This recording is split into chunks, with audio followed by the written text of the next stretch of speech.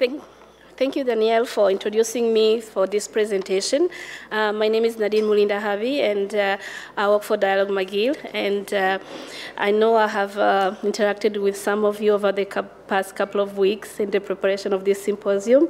So, as Danielle said in this morning, it's good to put uh, a face on a name.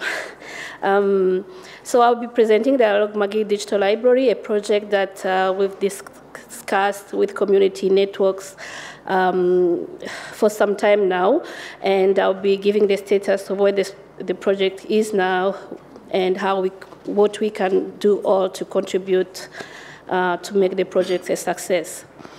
Um, this, these are the few topics I wanted to, to, to about today, the background, objective and goals, category of digital materials. We are talking about the content management system um, the platform uh, the library is built on, um, the features, access, role, and if we have time, a, a demo, and the next step.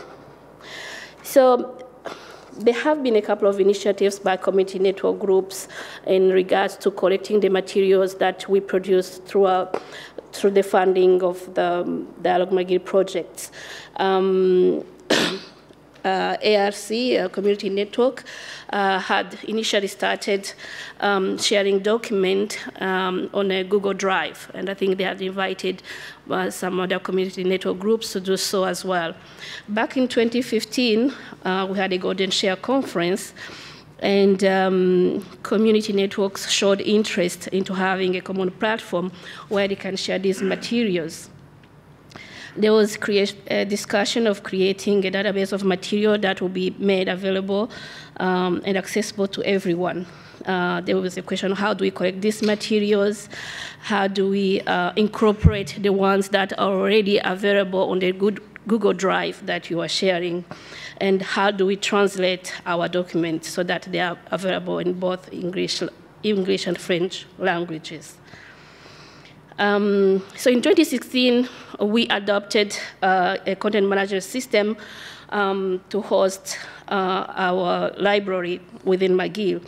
We proposed a solution initially to two community networks uh, that were that will be a champion for this initiative. And I believe uh, Catherine Quast and uh, Rachel uh, came to our office. We did a little bit of a demo of the of the platform we had implemented with my former colleague, and the response was really positive. They could see themselves using um, uh, using the library, uploading content, and uh, and adapting it. Um, initially, we had called it called a we called it a repository of project materials, but they didn't like that name so much. So um, I think we thank them so much for guiding us, and we, we came up with the digital library uh, name for the project. And through our project, now it's Dialogue McGill Digital Library.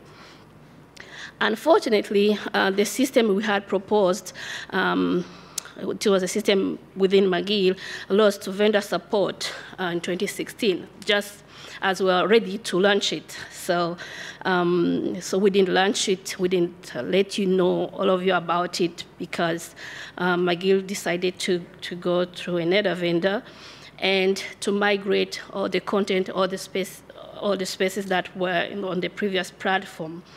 And that was done between March and December of last year our own space, our own content that were already upload, uh, uploaded on, on the system was um, migrated just in November. So November, December, we were able to customize it again for our need, and that's the, that's the content manager system I will be presenting to you today.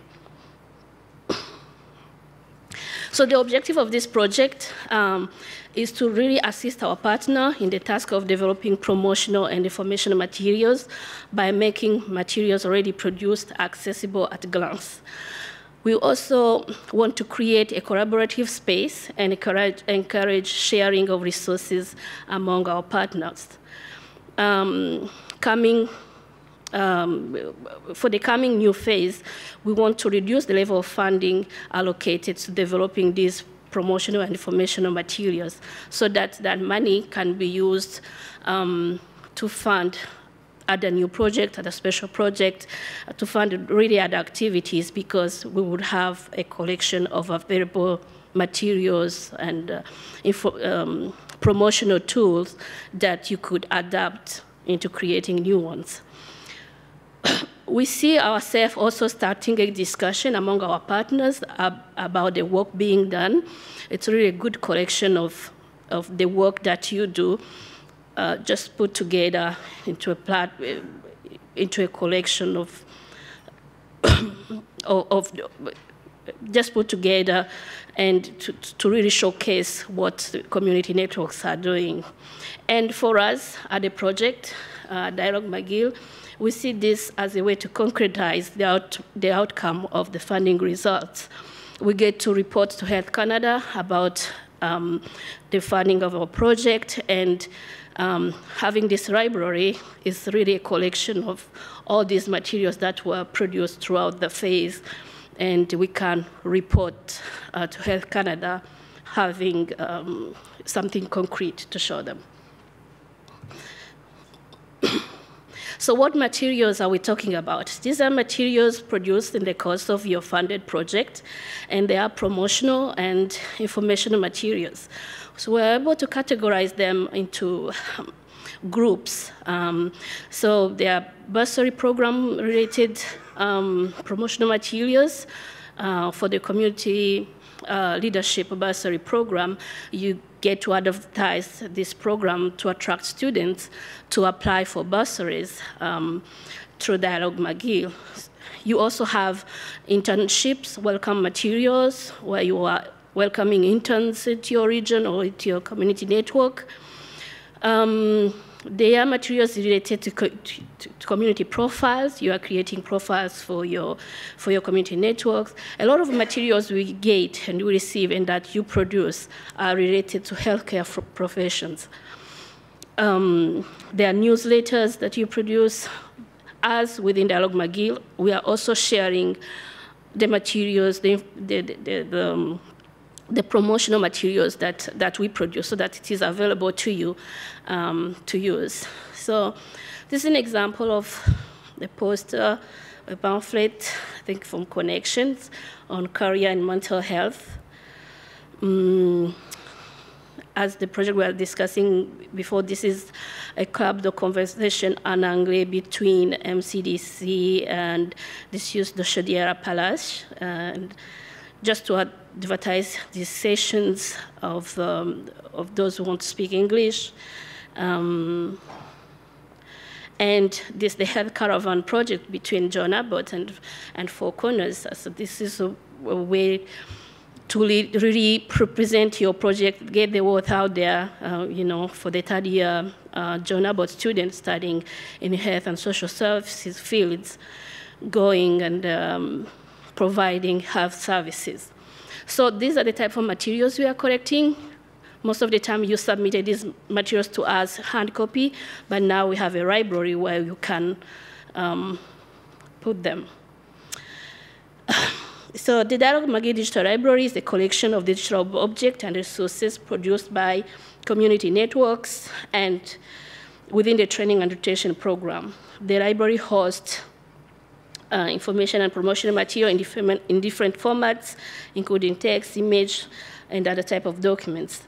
Um, it's maintained on a content management system hosted by McGill University, and it supports major functions such as long-time organization of information, uh, information retrieval, uh, advanced search functions, import and exports of document. Um, it's also going to be a tool for collaboration.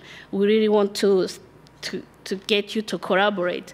Um, um, uh, back in 2015, um, I think for the Golden Share uh, funding of special projects, I think there were two or three community networks that submitted a project together. So when you are brainstorming uh, about that particular project, if you want to work on a document together, I think this is a platform where you can create and brainstorm and work on document together and, and submit it for funding. So um, it has great features. You can easily import and ex export electronic documents, file and folders. Um, you can personalize workspaces the way you see your library with what we call widgets. Um, basically, your, your most favorites file you want to see, your last viewed, um, the last checked in, checked out uh, files have a preview mode. It has uh, an advanced search capabilities that we see on the next slide. It has a comment section, so if, if somebody uploads um, uploads um, a file, you can easily go in and comment and start a discussion about maybe how they they design that pamphlet, how they if they they could maybe share um, um, an editable file that you can get started with, or really start a discussion um, with with each other as we upload this, these uh, documents. We can also create a hyperlink for a file and refer to it in an email conversation. Let's say you are discussing, you want to send a file to somebody, you just create a hyperlink through the library of that document and send a hyperlink to, some, to, to, to, to your colleague, to another community network. Um, and this is an easy way instead of downloading a, document and then save it on your computer and then write your email, go search for it, you know. But these are future we will see later when we do um, a little bit of training about this, this uh, tool.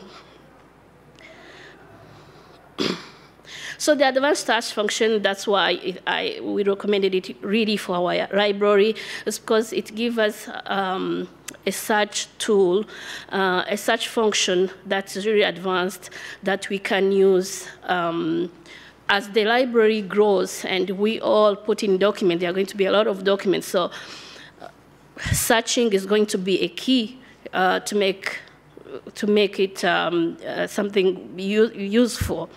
So you can search a document if you know the file name or the resource name, you just type it and you can search for it. But if you don't know the resource name exactly, the library allow us to search by either by author, by subject, by keyword, as we assign a keyword to each file we upload, we upload by year, by date. So these are the other ways the library allow us to search for, for, for for documents as the library grows bigger and bigger. And it has also a feature that you can save your search query for future use if you want to search again uh, in the future. okay. So these are, so it is based on a D2 platform, um, a content management system uh, that allows to easily upload, store, retrieve, and, and, uh, and electronic resources we and you as community networks, you can have access and upload yourself these documents. You don't have to pass through us to, to upload this document. That's why it's really a great tool for us to, to, to use.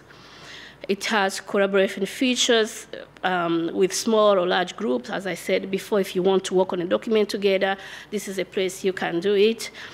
And you can, you, we can manage access to document based on user roles. I, I, I will talk about this later.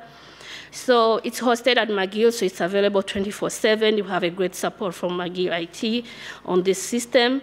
And it is supported on all browsers, Chrome, Firefox, Internet Explorer, you know, it's, it, it's supported. So for the user role, and I think I, I, I uh, I contacted you, I think around November, December, in regards to these two roles that you're going to have uh, community networks. So they're going to be somebody who is a contributor to the library and who has computer role uh, access.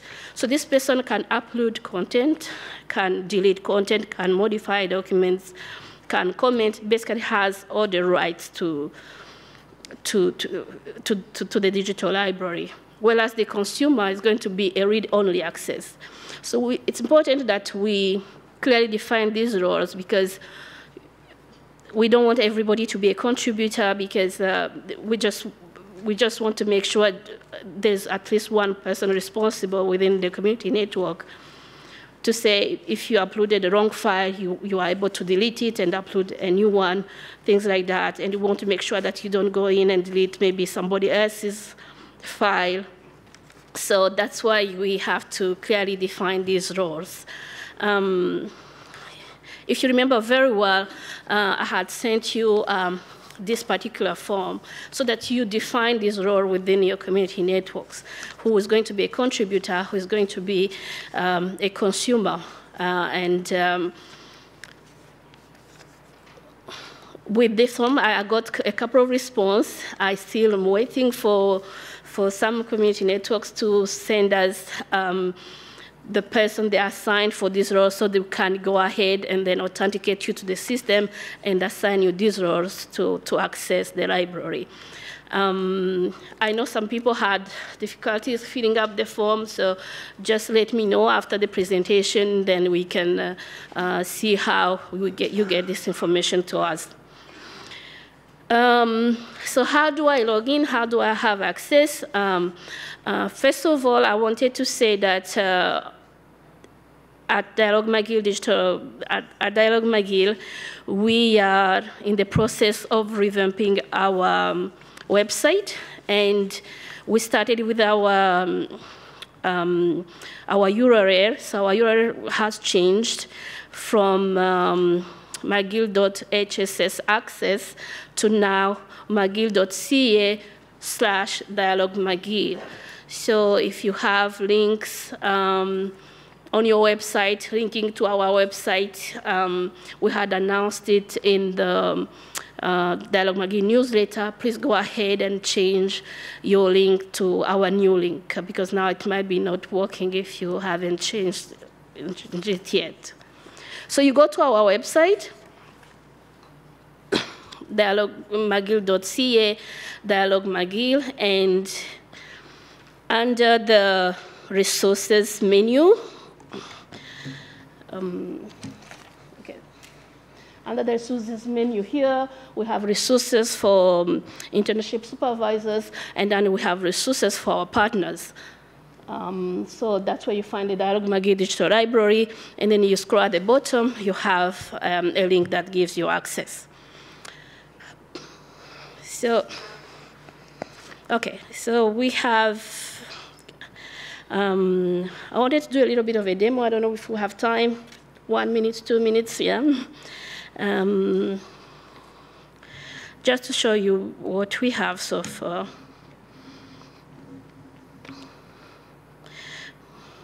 Um, so the, the, the, materials are really categorized into um, the groups um, um, as I mentioned before.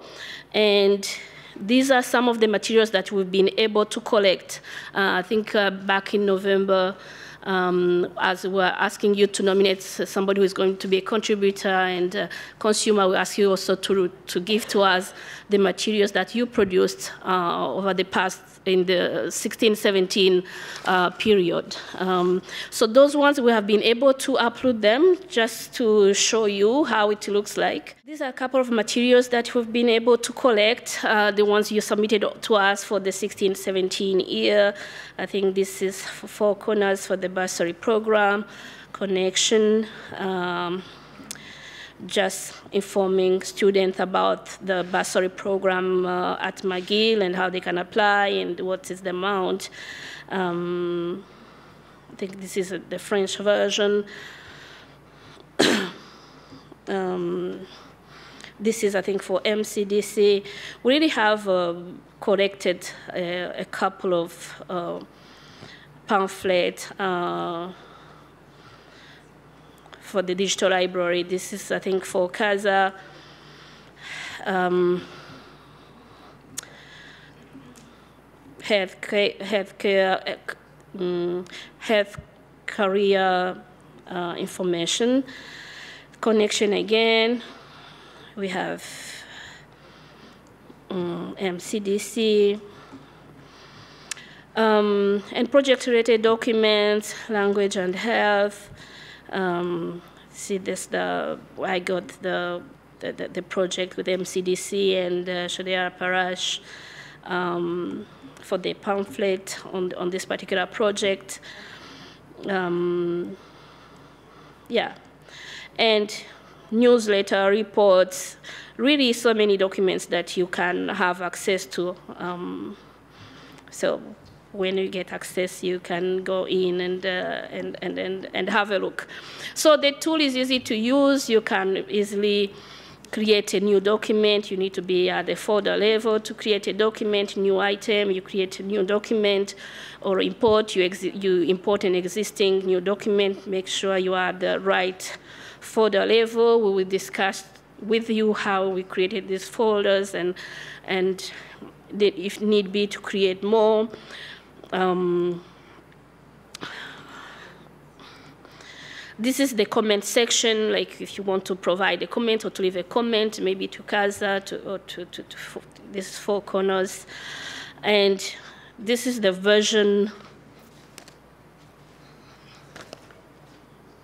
Yeah, the version, like if you created a new file, a new document you, you are working together on, you can create different versions of it, and the person who created it can go back and, and, and, and, uh, and, and choose the version of the final document, or maybe go back to the initial version.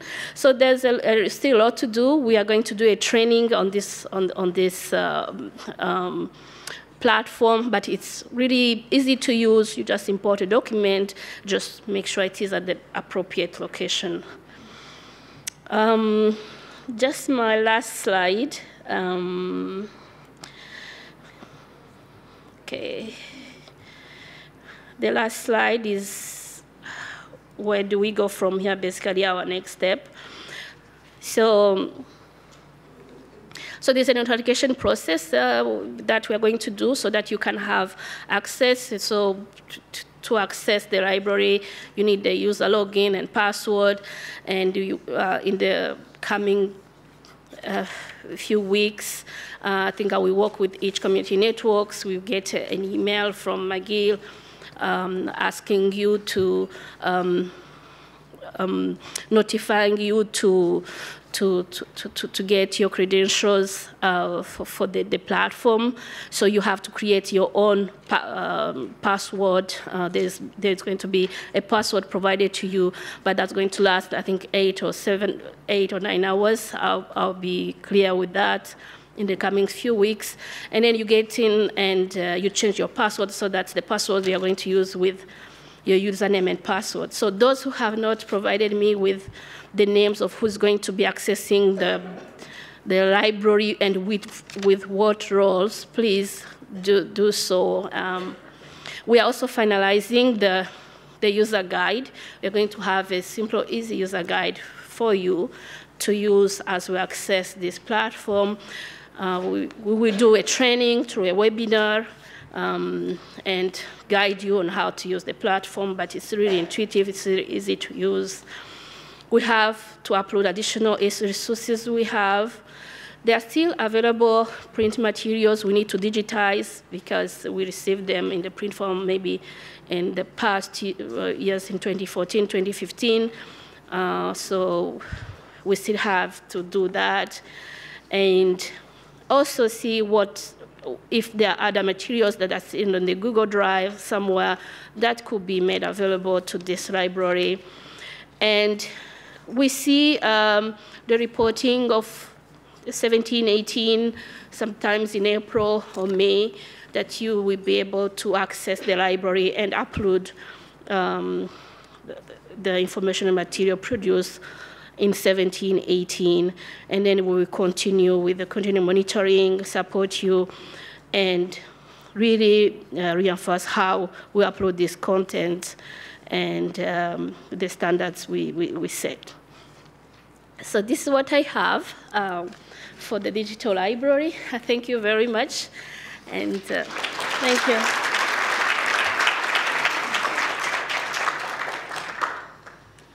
Um, so we may have time for maybe one or two questions. We're running a little bit behind uh, schedule, uh, uh, but if, if anybody would like to ask a question, please go to one of the mics. You can also, I guess, find uh, Nadine uh, at lunch uh, and ask her questions uh, that way. It's been a long morning, so perhaps uh, that might be the best, the best, best solution to go to, Yes, yes, to, to, to lunch. So thank you very much. Thank you. Oh, there is a question. There is a question. Okay. Hi, I'm, is this on? Yeah. Hi, I'm Carol from uh, École in Lanaudière. Yes. Um, I think it's wonderful, this site. It's, uh, it's going to be a good tool for all of us to be able to share different um, productions. I noticed that in the health section uh, online, we, I had sub- submitted this uh, careers booklet. Yes. And you didn't click on it, and I wanted to see what it looked like. Um, If it's at all possible. I haven't seen it online yet. So it's, it's a 33-page document yes, so you Um, can go. illustrating uh, Yes. about 50 careers most in demand in, uh, in the region. And we're also selling Lanaudière, was where I moved to about eight years ago. I love it. Um, So, well, I'm really happy uh, our work is up there. So it's going to be exciting. Thank you. Thank you.